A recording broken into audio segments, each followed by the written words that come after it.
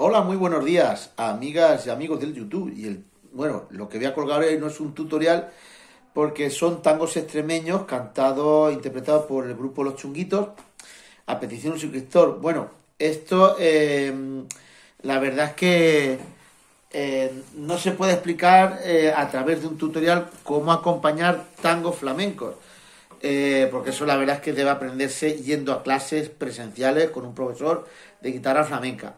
Entonces, cuando me piden algo así, igual que me han pedido bulerías, lo que hago es interpretado despacito y que veáis lo que yo hago y ya está, ¿vale? Pues no se puede hacer otra cosa. Así que os aconsejo para...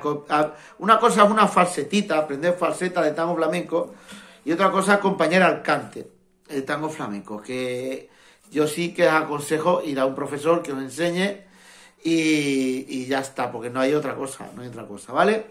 Venga, no me enrollo más y venga, os voy a acompañar despacito y, cogéis lo que, lo que podáis, ¿vale? Venga, vamos con ello.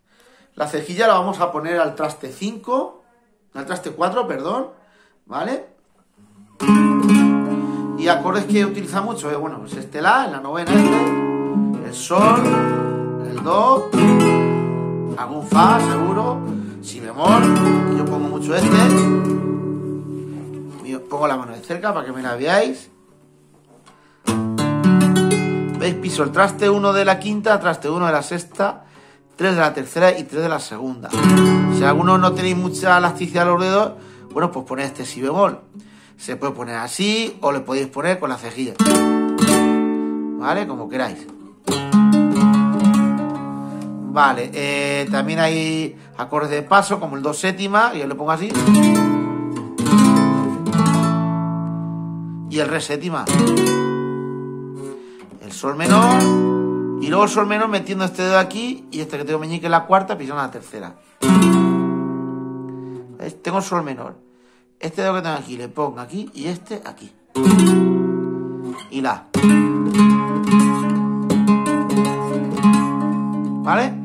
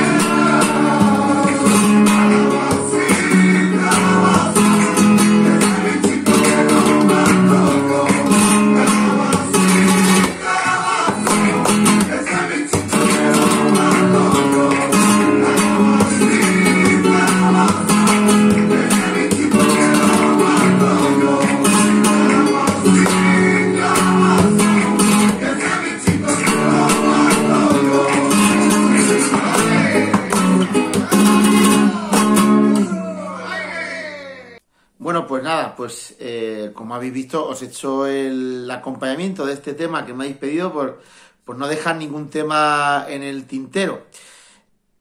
Mm, así que bueno, nada, pues espero que disfrutéis de él y mm, no se puede hacer otra cosa. Así, esto no se puede hacer ningún tutorial porque como, como le explico a una persona, aquí tienes que hacer esto y aquí.